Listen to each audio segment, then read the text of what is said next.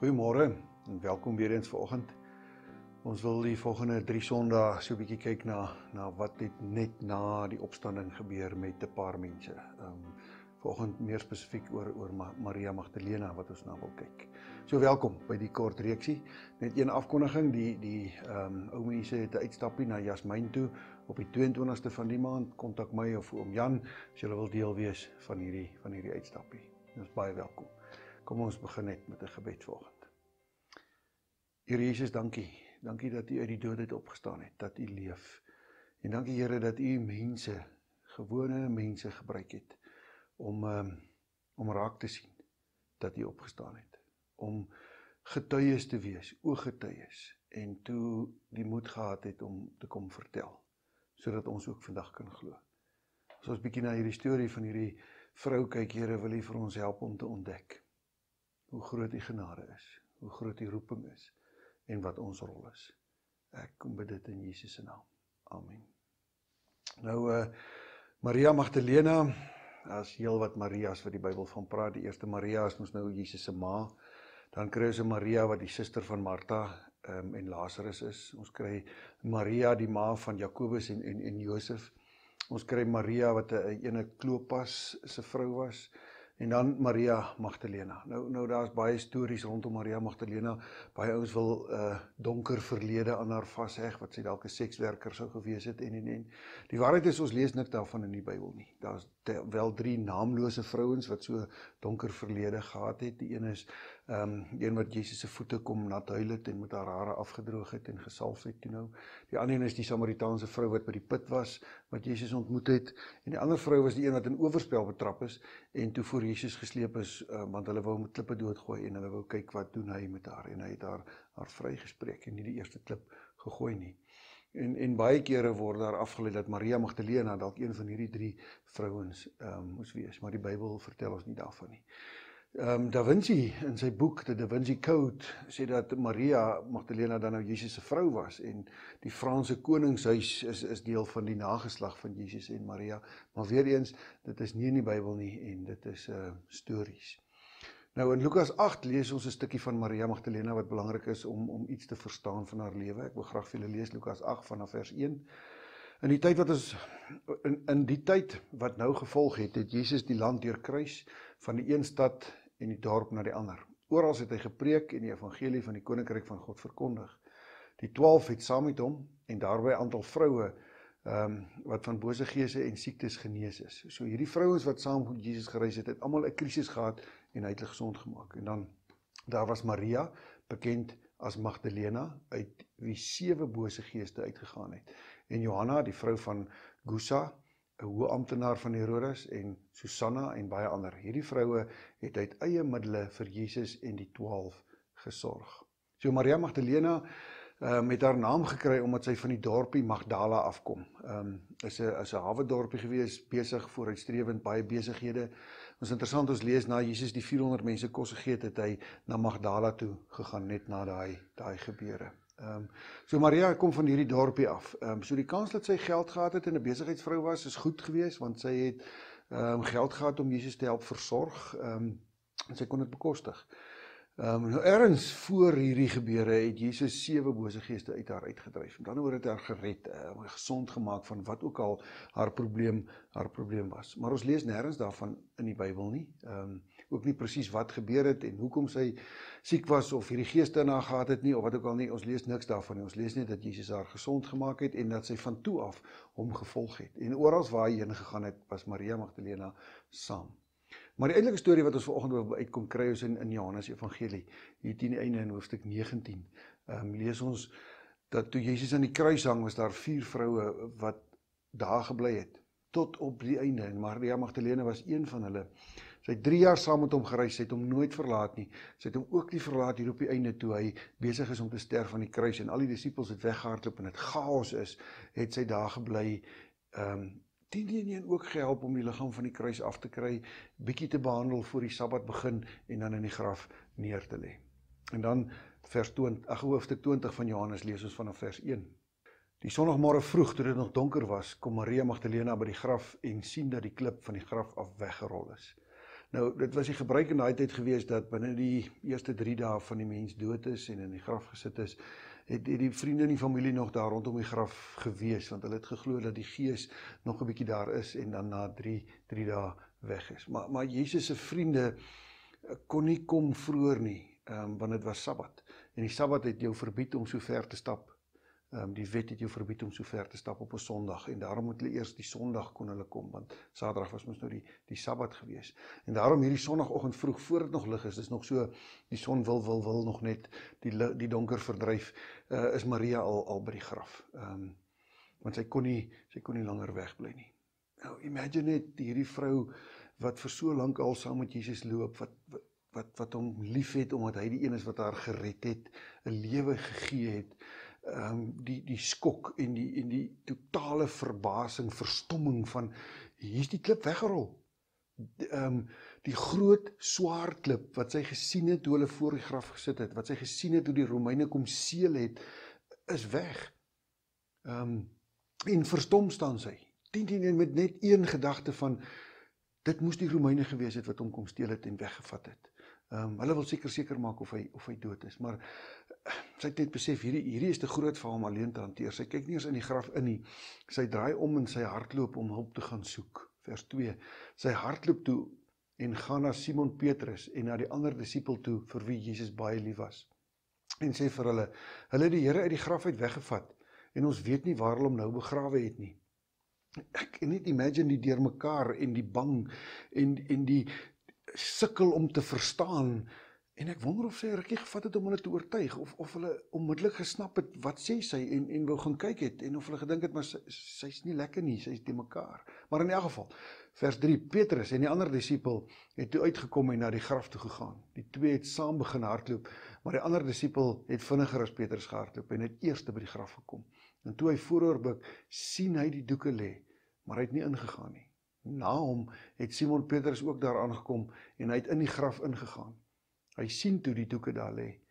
Ook die doek wat om Jesus se kop was. Die doek het nie by die ander doeke gelê nie, maar was eenkant afsonderlik opgerol. Daarna het die ander disipel wat eerste by die graf gekom het, ook ingegaan en hy het dit ook gesien en geglo. Hulle het nog nie die skrif verstaan dat Jesus uit die dood moet opstaan nie en daarna het die disipels weer huis toe gegaan. Nou Johannes was dalk jonger as Petrus of vinniger net dood eenvoudig want hy's vooruit en hy los Petrus agter. En hy kom daar by die graf en hy sien die klip is weggerol en dan kyk hy in en hy sien die doeke en dis al wat hy sien. Petrus kom agterna aangehardloop en hy gaan in die graf in en daar sien hy dieselfde, net die doeke wat daar lê. Ehm um, nou nou dis interessant as iemand die liggaam sou wegneem en die doeke los, sou die doeke anders gelê het. Dit is tog so afgetrek gewees het en in die hoek gegooi gewees het of te mekaar gewees het of wat ook al. En en en iemand wat hom kom steel het of kom wegvat het, sou nie die een doek mooi opgerol het en geberre het nie. Nou die Grieks verduidelik dit eintlik baie mooi. Soos wat 'n mens in die toegedraaide doeke gelê het, so die doeke bly lê asof Jesus dood eenvoudig net deur die doeke uit pad gegee het en dit net so mooi bly lê het. Uit die doeke uit het hy verdwyn opgestaan. Nou Johannes so mooi hierdie hy sien hierdie doeke. Dan maak hy die sommetjie in sy kop van hierdie doeke wat mooi en reg lê en dan besef hy maar Jesus het opgestaan. Hy's nie gesteel of weggevat die liggaam nie. Hy het opgestaan. En hy glo dit. Hy het dit nie gelees in die profete of in 'n boek of wat ook al nie. Het gesien die doeke lê en hy het geglo. Sy eie oë gesien. Maar Maria se storie gaan verder. Ehm um, seker een van die grootste erkennings of herkennings in die geskiedenis van die mens. Vers 11. Maar Maria het buite die graf bly staan en huil. En terwyl sy huil, het sy vooroor gebuk om in die graf in te kyk. Toe sien sy twee engele met wit klere aan daar sit waar die liggaam van Jesus gelê het en waar die kop uh, een waar die kop en een waar die voete was. Hulle vra te vra haar: "Mevrou, waarom huil jy?" Sy antwoord hulle: "Omdat hulle my Here weggevat het en ek weet nie waar hulle hom nou begrawe het nie." Nadat sy dit gesê het, het sy omgedraai en vir Jesus daar sien staan, maar sy het nie geweet dat dit hy is nie. Jesus vra haar toe: "Mevrou, waarom huil jy? Vir wie soek jy?" Sy het gedink dit is die tuinopsigter en sy het vir hom gesê: "Meneer, as u hom weggevat het, sê vir my waar u hom begrawe het en ek sal hom daar gaan haal." Jesus het vir haar gesê: "Maria." Sy draai na hom toe en sê in Hebreëus vir hom: "Rabboni." Dit beteken leermeester. Sy hardloop om vir Petrus en Johannes te gaan vertel die graf is oop. Interessant. Petrus Johannes hardloop, hulle gaan kyk, hulle sien Maria het teen agter geraak want sy het nou al 'n slag terug gehardloop dorp toe en nou kom sy weer uit so in hierdie deurmekaar het sy hulle verloor en toe sy by die graf weer kom toe sy alleen daar en sy staan en huil want want Jesus is nie daar nie. Verwarring, verbasing, skok, ehm um, bang. Ehm um, en dan vir die eerste keer kyk sy in die graf in.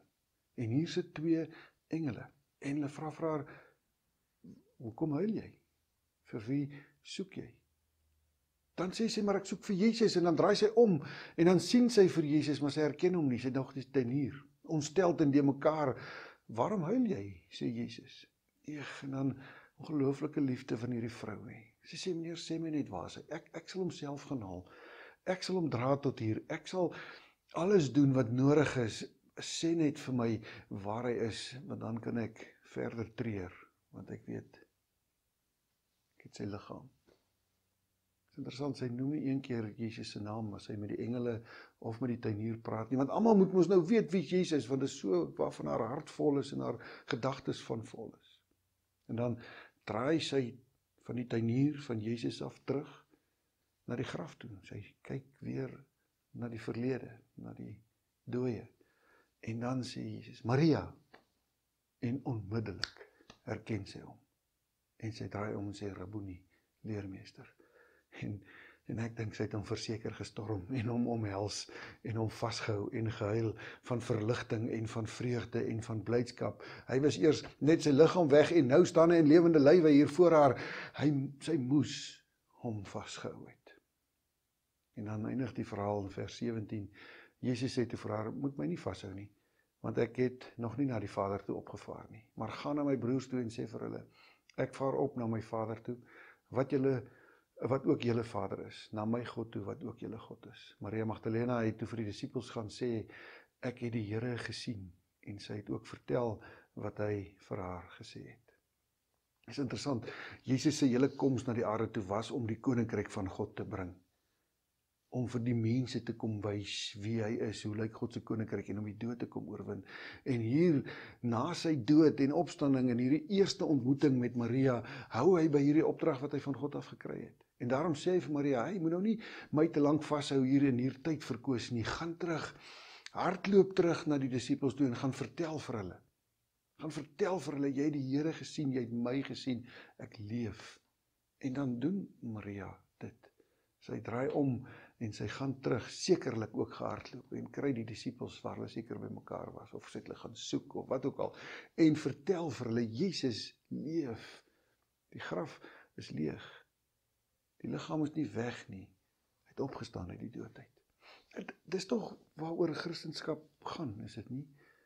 Dit gaan oor 'n ontmoeting met die lewende Jesus. Dit gaan oor 'n besef, 'n hoor van Jesus wat jou en vir my en Maria op die naam roep. En as ons hom dan erken as die opgestane Heer, so oor Christendom gaan, is dit nie? Dit gaan in Christendom nie daaroor oor al die kennis wat ek oor hom het nie, maar dat ek hom ken, ontmoet het, persoonlik ken, gehoor het hoe hy my op die naam roep en gereageer het, ook met my lewe gereageer het. Christendom gaan nie oor argumente en kennis oor hom nie. Dit gaan oor ontmoeting met die lewende Here en 'n verhouding waarin ek volg met my lewe. Dit gaan oor ervarings van sekerheid dat hy leef. Dit gaan oor stories wat ek en jy het in ons eie lewens van hoe ons kan vertel soos Maria waar ons hom gehoor het hoe hy ons roep op ons naam. Stories van gehoorsaamheid. Stories waarin ek volg, stories waarin ek kan vertel hoe hy gesorg het en hoe hy my bederf het en van 'n naby intieme verhouding. Is interessant Maria herken nie eers vir Jesus nie. Sy dink is die tuinier want haar oë was vol trane en vol hartseer en vol skok en en en verwardheid en deurmekaarigheid. En daarom draai sy ook terug na die graf toe want hy was dan nou hier, ek moet hom hier soek, hier waar hy dood is. in die verlede. En dan roep Jesus haar naam en uit haar hartseer uit, haar leermekaar uit, uit haar verlede uit, uit sy verlede uit waar hy dood was, draai sy om na die toekoms, na môre. En sy sien hom en herken hom. Hy leef. En sy gaan vertel vir ander. Lief is jy vir Jesus. Wys dit in jou lewe. In jou taal gebruik, in jou gesprekke, in jou manier van doen. Ons het al hoeveel keer daaroor hierdie jaar gepraat dat Jesus ons roep om deel te wees van sy koninkryk. Anders lyk as die wêreld. Baie baie mense in die kerk vandag leef want hulle het ergens in die verlede, heel wat jare terug, 'n ontmoeting met Jesus gehad. Hulle ja gesê het toe hy hulle naam roep. En dis waar dit gebly het. Moenie 'n lewe van avontuur saam met Jesus mis deur staat te maak op die een ontmoeting nie. Want elke liewe oggend nooi hy jou sê kom my kind, stap weer vandag saam met my en beleef my en leer my ken en leer leef en leef soos ek wil hê jy moet leef en gaan vertel met jou lewe en met jou dade vir mense dat Jesus Here is en dat hy leef. Moenie dat hartseer in jou verlede jou oë blind maak dat jy hom nie herken nie. Moenie terugdraai na jou verlede en leef in jou verlede sodat jy die toekoms saam met Jesus mis nie en vir hom mis nie. Sien en hoor hom elke dag vandag. Want elke dag roep hy jou naam. Mag jy dit hoor en mag jy met jou lewe antwoord. Net 'n laaste ding oor Maria. In die tyd waarin sy geleef het, was sy nie 'n betroubare getuie vir die samelewing nie. Sy was 'n alleen vrou. Sy het nie 'n man gehad nie. So sy het geen status gehad nie. Daar was 'n verlede aan haar waarin sy met bose geeste deurmekaar was wat haar beheer het. So daar was stories oor haar. En dan was sy alleen by die graf gewees en kom en vertel alleen die storie dat Jesus opgestaan het. Niemand kon haar bevestig wat sy sê nie. En tog met al hierdie goed wat teen Maria tel, kies Jesus vir haar om die eerste een te wees van al die mense. Kies hy vir Maria Magdalena om die eerste een te wees wat hom lewendig sien. Wat sien dat hy uit die dood uit opgestaan het. Jesus kies vir haar om die eerste getuie te wees. En sy doen dit, sy gaan getuig. Hy leef. Jy en ek is ook gekies net soos ons is. Maak nie saak wat in jou verlede gebeur het nie, maak nie saak wat jou status nou is nie, maak nie saak wie jy is nie. Jesus roep ook vir jou om 'n getuie te wees dat hy leef. Te gaan vertel dit wat jy sien in jou eie lewe. Mag jy hoor vanoggend Jy's op jou naam geroep uit jou verlede uit uit jou hartseer uit. Mag jy omdraai en vir Jesus sien en erken en jou toekoms saam met hom loop. Hy leef en hy gee daai lewe vir jou om ook te leef en te gaan vertel. Mag dit mag dit jou lewe vol maak en jou lewe avontuur maak. Want Jesus leef en hy roep jou, volg my. Amen.